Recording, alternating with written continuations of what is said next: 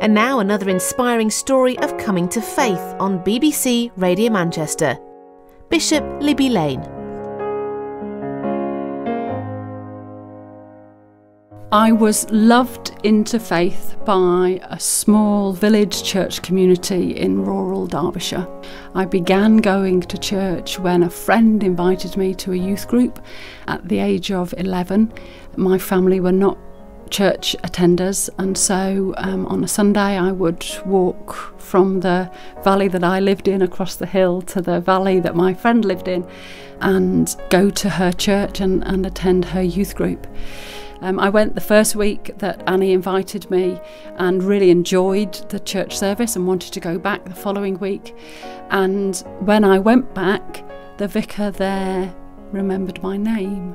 And that made an enormous difference to an 11 year old child turning up on her own in a, in a church that didn't know her and, and knew nothing of her, that they cared enough to remember my name and they embraced me in the, into their wider church family.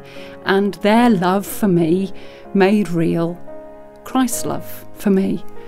And they loved me into faith and they nurtured my gifts and they encouraged me to exercise a ministry there as a teenager and supported me when I moved on to university and rejoiced with me when I began to explore the possibility of ordination while I was at university. It was a local Church of England church and the people in it who, by living their faith out day by day and including a child who turned up on her own at church, um, into that that led me to Christ.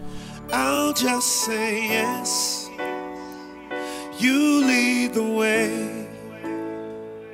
I'm not afraid of what it means for me to say that this life you gave is not my own. Trusting you to hear my yes and lead me on. Yes, Lord. Yes, Lord. My life is yours. I'll just say yes. Yes, Lord.